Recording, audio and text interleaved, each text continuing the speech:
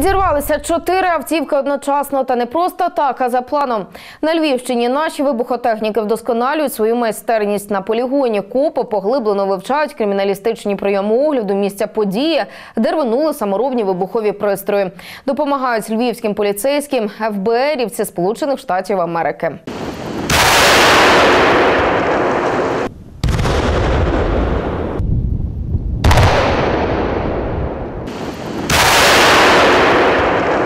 За моєю спиною фахівці проводять перевірки автомобілів, які буквально щойно здійнялися в повітря.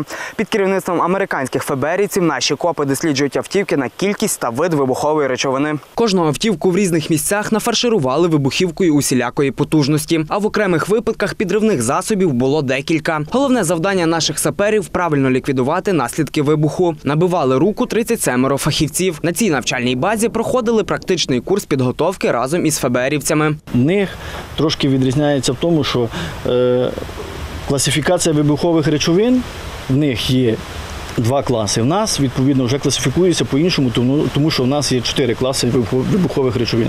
Вони класифікуються по потужності. Ці навчання проводять не для хизування своєю вибухотехнічною силою, а для того, аби наші сапери обмінялися досвідом із заморськими гостями. Попри те, що Максим собаку з'їв у цій сфері, спілкування з іноземними колегами було для чоловіка корисним. Хоча відмінностей між нашою роботою та працею західних партнерів немає. Були практичні поради із, інш... із їх боку, в... з використанням їх досвіду і з нашого. Бо у Сполучених Штатів Америки є можливість демонструвати свою присутність у багатьох країнах світу. Звідти вони мають можливість вилучати самородні зразки саморобних вибухових пристроїв.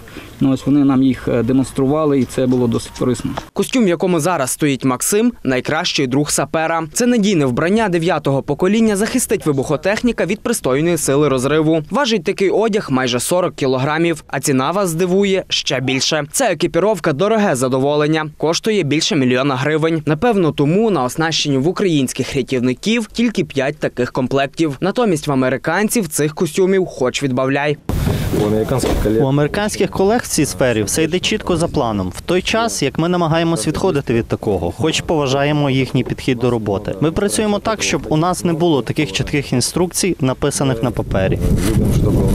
А це ще один прилад, яким можуть похизуватися наші вибухотехніки. Чи не найкорисніша річ на озброєнні саперів? Головне завдання такого робота проведення різноманітних маніпуляцій з підозрілими об'єктами без участі людей. У нього є три відеокамери, що дають змогу оцінити потенційно небезпечну ситуацію. Також ця машина може відвести підозрілий об'єкт на безпечне місце. Коштує робот близько 200 тисяч доларів. На це не дешеве задоволення і встановлюють гідродинамічний руйнівник. Гатить він з неймовірною силою та стріляє не патронами, а звичайною водою. Його завдання зруйнувати ланцюжки вибухового пристрою, не дозволивши йому спрацювати. Андрій Дідоводюк, Віталій Ільчишин. Правда тут.